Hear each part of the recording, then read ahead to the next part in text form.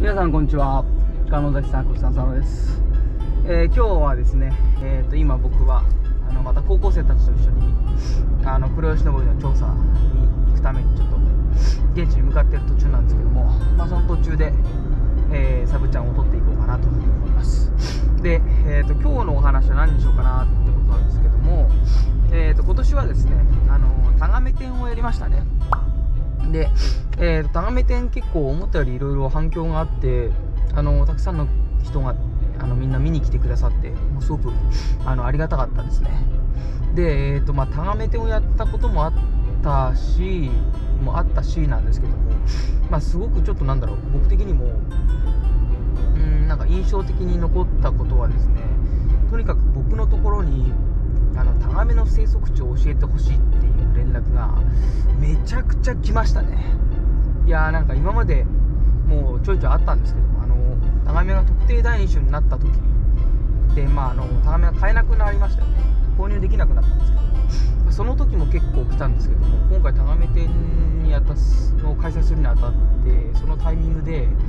結構ねタガメの生息地ちょっと教えてくださいっていうあの連絡が結構来たのがびっくりしましたね、まあ、もちろんあの教えることはできないんですけども、まあ、でもね本当中にはあのー例えば博物館のインスタとかのにも直接 DM とか送ってくる人もいたしめちゃ失礼なやつとかもいたし何こいつみたいなやつもいたしまあその人はもう無視なんですけどまあでも中にはそのなんあんまりいたらよく知らないであの子供ちっちゃい子がねあのタガメが欲しい取りたいって言ってるからっていうふうにあの連絡くださるお母さんとかもいたりして。まあなんか僕からするともうあまりにもいっぱい来て結構うんざりだったところもあるんでもあったんですけどもとはいえねなんか生き物に興味を持ってくれてる人もうれっていうのも嬉しいし、まあ、あとそもそもやっぱタガメのことをあんま知らない人も多かったと思うからこそあのなんだろう僕に教えてもらえば簡単にタガメが取れると思ってる人たちもたくさんいると思うんですよね。まあそういうのもあってまあそういういろ僕もそういう話があったから思うところもあってですね今日はちょっとなんか僕の思ってることとかを話そうかなと思い立ったわけでございます。でね、まあ、僕もですねタガメ子供の頃からすっごい憧れてて僕の時代はあの本当にネット環境がそもそも今みたいになかったしなんか Google マップとかもなかった時代なのでもうなんかコンビニとかに売ってる県別マップとかあとテレビとかで何々県で撮れたやなんかいるみたいな話が言ったらもうとにかく闇雲で探すしかなかったんですね、まあ、当時はなんかその文献を調べるとかそういう能力もなかったっていうのもありますけど。もだから僕が最初タガメを探し始めてから初めてタガメを取るまでえっ、とね6年もかかったんですよ。でそれはねやっぱでも自分の中ではその6年間相模を諦めずに探し続けたっていうのはすごくなんか今思うと本当に貴重な経験だったなって思って。やっぱタガメにたどり着くまでにいろんな生物とかいろんな人たちと出会うんですよね。でその、まあ、例えばあのもう本当に最初の頃なんかコウイムシとかタイコウチすら取るのも難しくて、まあ、神奈川県内で探してたっていうのもありますけどだからねそういう風にこう一歩一歩いろんな生き物たちにこう出会いながらこうタガメに最後たどり着くみたいな、まあ、そういうのが本当に大事だったなって思いますねだから例えばこういう虫とこういう虫がいるとそれの上にタガメがいるとかね。そういうのがこう長く探し求めたことによっていろんなこと気づけたし経験できたし。でそれで自分はこのタガメのタガメとか、まあ、生き物の世界で生きていこうっていう決意にもなったし そういうことをやっぱり皆さんには大事にしてほしいなって思うんですよね。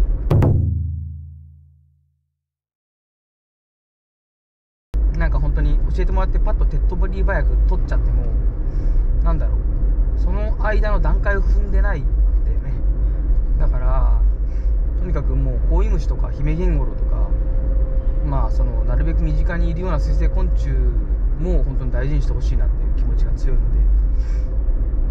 本当皆さん手っ取り早くタガメを取らないでほしいなと。やっぱその間のこの段階を踏むことで本当にねあの生き物の世界で生きていく人として成長するんじゃないかなっていうふうに思いますでそれでそれをやっぱ応援する子供のお母さんとかお父さんとかも、まあ、そういうのをあの大事にしてほしいなっていうふうに思いますね。であとはね、えーと、生き物だけじゃなくて人。との出会いもすごく大きかったなと思います。その頃出会ったあの人たちにはね本当未だにやっぱりこうあの連絡取らせていただいたりして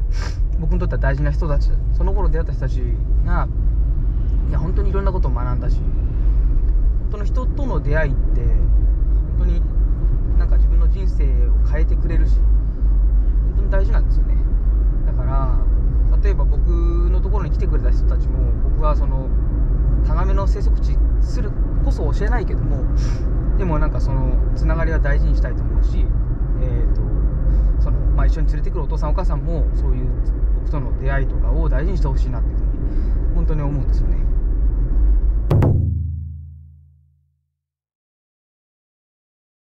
そういうのがねでもねぶっちゃけ欠けてる人が多い。それはちょっとねがっかりしますね。正直。そうなんですよ。まあ本当になんか LINE とか LINE じゃないか。あのインスタとかあの Facebook とかの DM でささっと終わらしてそれっきりみたいな。なんかそういうちょっとねあのー、なんだろうね。塩対応みたいな人が多いっすね。あとなんか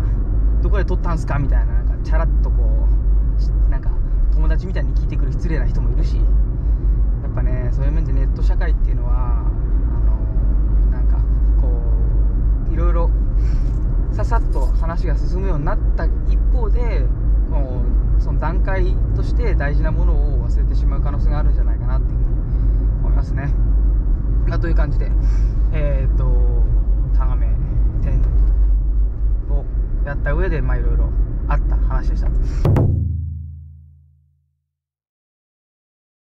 あとはね、えっ、ー、と、まあ、ちょっと怖いなと思ったことももう一個あって、えっ、ー、とね、タガメのことちょっと知ってる人がもちろんいるんですよ。タガメ取ったことあるみたいな。で、その人たちがタガメの繁殖をさせて、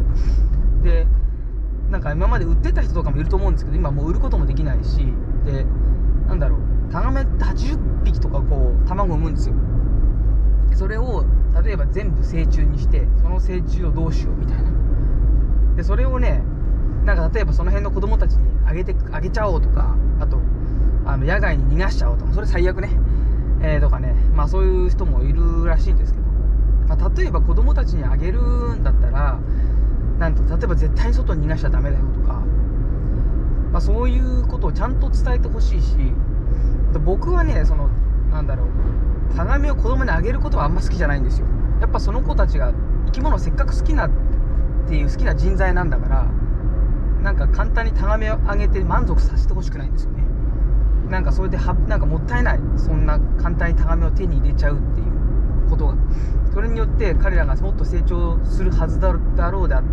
たその段階を省いちゃってるというかね。そういうような見せ方っていうのは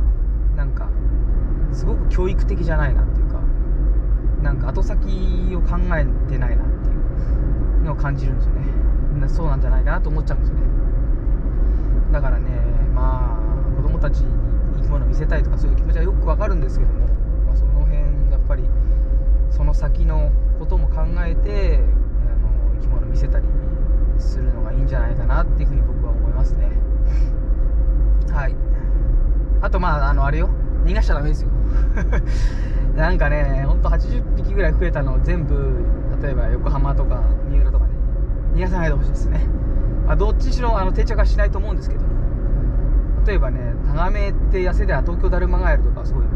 ガシガシ食うんですけどあのー、神奈川では東京だるまガエルも貴重ですからあのタガメが例えば80匹をのタガメをこう持ちこたえる生態系のこのポテンシャルがね神奈川にはやっぱ少ないので、えー、まあ、それであの、まあ、もちろんタガメも多分そのまま定着せず死ぬと思うんですけどその間東京だるまガエルとかガシガシ食われたりしたら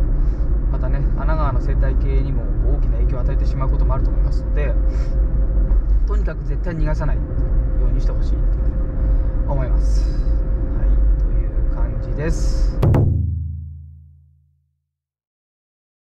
でタガメ店は、えー、と今月の10月31日までもうすぐじゃん。もうすぐで終わっちゃいます。であとはえっ、とタガメ店の中でタガメの相談室タガメ相談室っていうのをやったんですよ。でこれはね、えーと、YouTube の一番最初の時の、えー、タガメ先生の相談コーナーっていうまあ見ていただければ分かるそれの、まあ、続編みたいな感じでまた、えーと、お客さんたちにいろいろ自分の悩みと相談を書いてもらってそれをタガメ先生がね僕じゃないですよ。タガメ先生ですよ。タガメ先生がえーと、タガメ的な視点でその相談に答えてくる声なんですけども、えー、それをね、えー、書いたのでそれをタガメ展が終わったら終わり次第まとめて、えーと、また YouTube にアップしていこうかなと思います。はいというわけで今日はタガメ展をやった上でのお話でございました。はいじゃあ